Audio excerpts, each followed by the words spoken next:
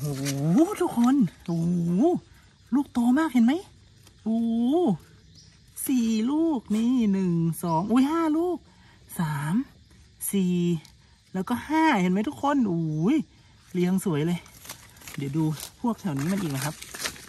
นี่อาจจะมีอีกนะ นี่ทุกคนเห็ดเพาะกลุ่มแรกที่ผมเจอนะครับ เนี่ย ออกเป็นกลุ่มเนาะนี่ ลูกโตๆกลมๆเลย ยังขาวยังอ่อนอยู่เลยนะครับนี่บางลูกมันก็จะออกติดกอไม้แบบนี้นะครับ เห็นไหมมันมีคนไม่มันไอมันไม่มีคนเจอ เออ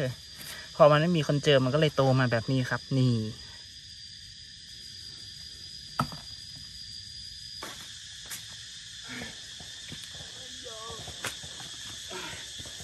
ทุกคนครับ วันนี้เรายังเข้าป่ามาหาเห็ดในจังหวัดพะเยานะครับ ในป่าจังหวัดพะเยาวันนี้ ฤดูกาลนี้ยังมีเห็ดเพาะนะครับ เดี๋ยวลองตามมาดูว่าผมจะได้เห็ดเพาะกลับบ้านกลับไปกินกลับไปแกงหรือเปล่านะครับ ตามมาดูเลยครับ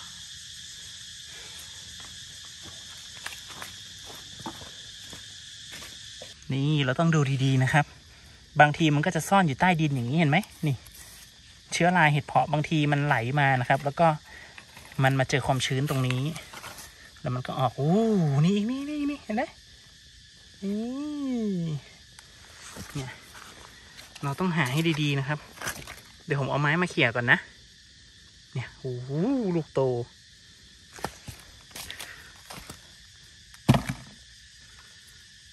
อืมสองลูกหรือสามลูกนี่นี่แหละครับ เราต้องเขี่ยหานะครับบางทีมันอยู่ใต้ใบไม้ ซ่อนอยู่ใต้ใบไม้นะ เราจะต้องเขี่ยบริเวณผิวผิวดินนี่เจออีกแล้วเห็นะ ต้องเขี่ยบริเวณผิวดินดูนะครับ มันจะซ่อนอยู่ใต้ใบไม้ เชื้อราของเห็ดเพาะเวลามันไหลตามน้ำมา แล้วมันมาเจอนี่เจอแล้วนี่ลูกเล็ก มันมาเจอความชื้นนะครับ ใต้ใบไม้หรือบริเวณกิ่งไม้ มันก็จะเจริญเติบโตอยู่บริเวณนั้นทำให้เราเจอเห็ดเพาะแบบนี้ละครับ นี่แป๊บเดียวนะครับ ก็ได้เห็ดเพาะไปเยอะเหมือนกัน แต่ว่าเห็ดเพาะในช่วงนี้นะครับ ในช่วงต้นเดือนมิถุนายนแบบนี้เนี่ยเห็นไหมมันเริ่มโตแล้วเริ่มแก่แล้วเนี่ย ลูกโตๆแบบนี้เนี่ย ข้างในไม่รู้จะดำหรือเปล่านะครับ เนี่ยเดี๋ยวกลับบ้านเดี๋ยวเราเราลองไปผ่ากันดูนะครับ ถ้าดำแล้วมันก็แก่นะครับ แต่ว่ายังกินได้นะครับ แต่ว่าถ้าเรานำไปทำเป็นเชื้อเห็ดเพาะใต้ต้นยางนาในสวนก็ได้นะครับนำไปยัดใต้ต้นยางนา มันก็จะทำให้เกิดเห็ดเพาะในสวนของเราต่อไปนะครับ นี่ วันนี้ได้แต่ลูกโตๆ กินอิ่มอร่อยเลยครับ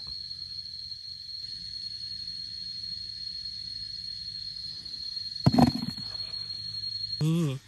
นี่เห็นไหม มันอยู่ใต้ดินเห็นไหม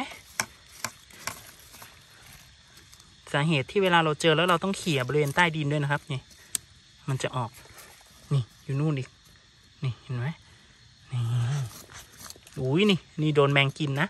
เนี่ยฝังอยู่เนี่ยโดนแมงกินอีกเนี่ยโอ้ยนี่นี่นี่นี่นี่นี่โอ้โหเดี๋ยวผมหาบริเวณนี้ต่อก่อนนะ มันต้องซ่อนหนูดูดิ นี่ถ้าไม่โดนแมงกินนะได้เยอะกว่านี้อีกเนี่ย เนี่ย นี่ยังดีอยู่เลยนะ นี่ อีกสองลูกนั้นโดนแมงกิน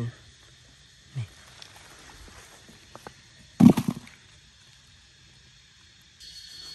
โอ้โหตรงนี้ เนี่ยมันออกกระจายเรียงกันมาเลยนะ เนี่ยเห็นไหม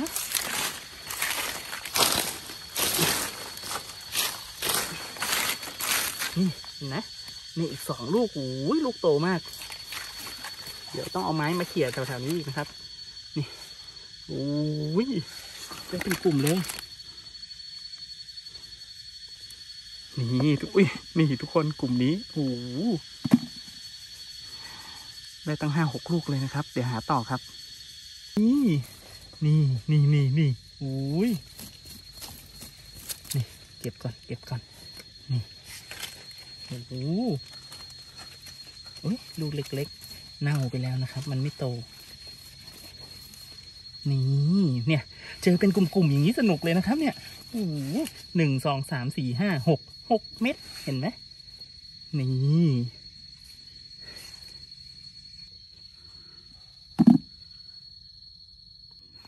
อืม อืมลูกโตนี่เห็นไหมครับ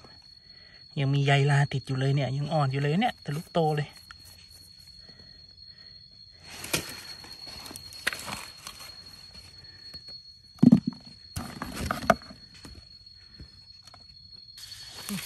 ห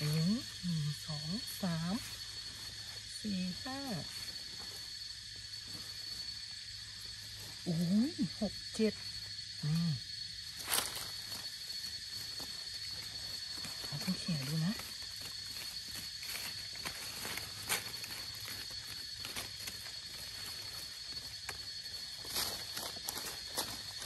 โอ้โหดูดิตรงนี้กลุ่มเดียวเจ็ดลูก คนดูโอ้ยนี่เป็นแมงนี่เป็นแมง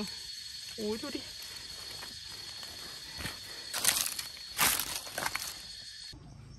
นี่แหละครับทุกคนครับพอผมกลับมาถึงบ้านนะครับ ผมก็ลองเอาเห็ดเพาะนะครับ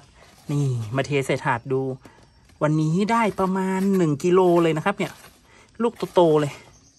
ด้านในน่าจะขาวอยู่นะครับ เดี๋ยวเราลองมาผ่ากันดูนะ ถ้าสีขาวอยู่ก็แสดงว่ามันยังอ่อนอยู่นะครับ แต่ว่าถ้าเป็นสีดำก็คือมันเริ่มแก่แล้วนะครับ เดี๋ยวเราลองมาผ่าลูกโตๆกันดูนะครับ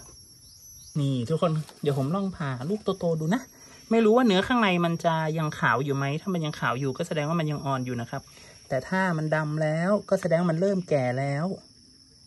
นี่อะลูกนี้เลยแก่นะครับเนี่ยสีดำแบบนี้คือเห็ดเพาะที่มันแก่นะครับ สปอร์ของมันเริ่มแก่แล้ว แต่ว่ายังกินได้นะครับ เปลือกมันยังเป็นสีขาวอยู่ แบบนี้สามารถเอาไปฝังดิน เพราะขยายพันธุ์กับต้นยางอ่ายางนายางเหียงยางตึงอะไรแบบนี้ได้นะครับ เดี๋ยวลองดูลูกต่อไป นี่ เราลองดูลูกนี้ อ่า อันนี้ปานกลาง เห็นไหมล่ะครับ เดี๋ยวเดี๋ยวเราลองลองดูลูกต่อไปนะครับอะเราลองดูลูกเล็กๆลูกเล็ก ๆ เผื่อว่ามันยังอ่อนเนาะจะได้เปรียบเทียบให้ดู อ่านี่เห็นไหมครับ นี่ขาวเห็นไหม ถ้าขาวแบบนี้คือเห็ดเพาะที่ยังอ่อนอยู่นะครับ เปลือกด้านนอกขาว สปอร์ด้านในก็ยังเป็นสีขาวอยู่ยังอ่อนอยู่นะครับ เดี๋ยวเราลองมาเปรียบเทียบกันดูนะครับ เห็นไหมนี่ อันนี้อ่อนนะครับ อันนี้ปานกลางแล้วก็อันนี้เริ่มแก่แล้วนะครับ แต่ว่ายังกินได้อยู่นะครับ ใครที่อยากจะเอาไปขยายพันธุ์ก็ต้องเอาประมาณนี้นะครับ ระยะแก่ประมาณนี้นะครับ ไปฝังดินใต้ต้นยางเหียงยางนาได้นะครับ ลองมาดูชัดๆนะครับ เห็นไหมครับ เห็ดเพาะที่ยังอ่อน เห็ดเพาะที่ระยะปานกลางนะครับ แล้วก็เห็ดเพาะที่แก่แล้วนะครับนี่